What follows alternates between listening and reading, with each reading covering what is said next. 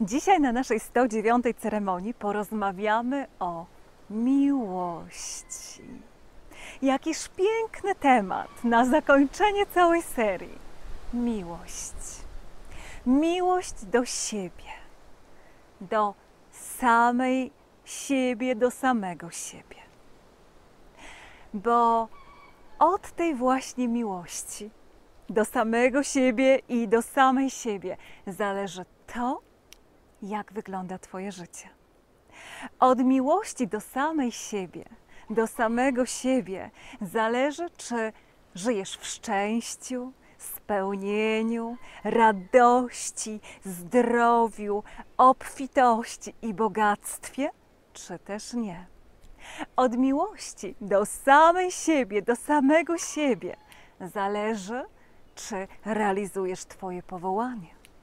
Od miłości do samej siebie, do samego siebie zależy to, jak wygląda Twój związek z drugą osobą czy z innymi ludźmi.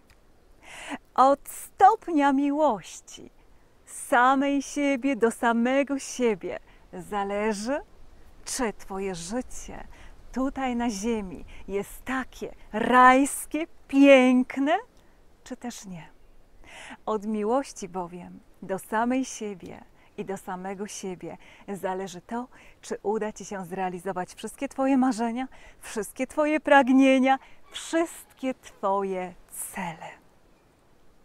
Od miłości do samej siebie, do samego siebie zależy to, czy umiesz przyjąć energie kosmiczne, energie boskie, energie siły wyższe, połączyć je z energiami Ziemi i zmaterializować tutaj wokół Ciebie wszystko to, co jest dla Ciebie ważne i co jest zgodne z Tobą.